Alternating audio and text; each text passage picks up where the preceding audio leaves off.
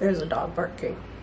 Hello beautiful people, welcome back to my channel. If you're new, welcome. Don't forget to hit that subscribe button so you can stay tuned on all the videos that I'm gonna be posting. Let's get right into it. Step one, throw out all the unnecessary products that you have. Now you do not need 10 shampoos, 15 conditioners, five different gels in your product stash. You want to stick with two good shampoos, two good conditioners, and one gel. Try not to dibble dabble in each type of product that you have. Stick to a consistent regimen. Trust me, your hair will love it. Now, what to do with the extra products that you have? Donate them. Donate them to a neighbor, a friend, a family member, anybody that needs shampoo, conditioner, or what have you, especially during this time of need. Okay, tip number two, we're gonna talk about protective styling. Now, protective styling, I'm pretty sure all of us know this, but to those who do not know what protective styling is, it's basically a style, a hairstyle that protects your hair from all the natural elements, um, protects your hair from your hands, anything of that nature.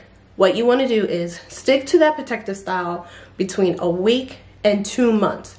Do not go over two months because that's when your hair starts to get matted, tangles, you have debris, excess debris, and you're going to deal with buildup.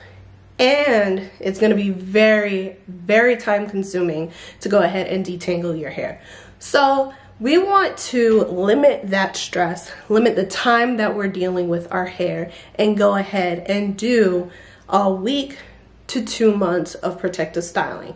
Now, the options that you have, the list goes on. You have box braids, twist outs, uh, singles twists, you have buns, low buns, puffs. Suggestion do not wear puffs all the time or else you're going to deal with breakage around the perimeter of your hair. And we're trying to avoid that, right? Step number three is good old TLC. No, we're not talking about the girl group. Oh, love them.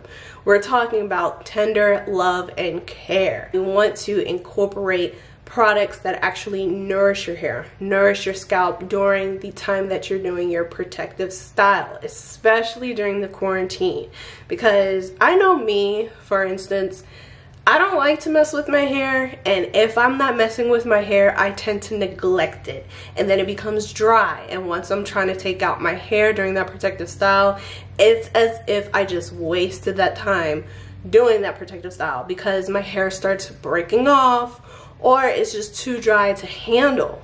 So please add some products like oil. I do have a DIY video on how to create your own oil for hair growth. So if you want to go ahead and check that out, the link's right here. And also what you want to do is go ahead and incorporate moisturizing products. Your hair will love it during this time. So, like I said, oils and moisturizing products during your protective style stage. Tip number four, eat healthy. Please incorporate a healthy diet in your regimen. What you eat also exudes out in your hair journey. Be sure to stay tuned for a video where I discuss on what foods help with a healthy hair growth journey. And step number five, document your journey take a lot of pictures of your hair journey so you can go ahead and compare them. And those are my tips. Thank you for watching my video. Thank you for subscribing and I'll see you guys next time. Don't forget to follow me on Instagram at naturally underscore Izzy. Hit that like button and stay tuned for my next videos. Bye.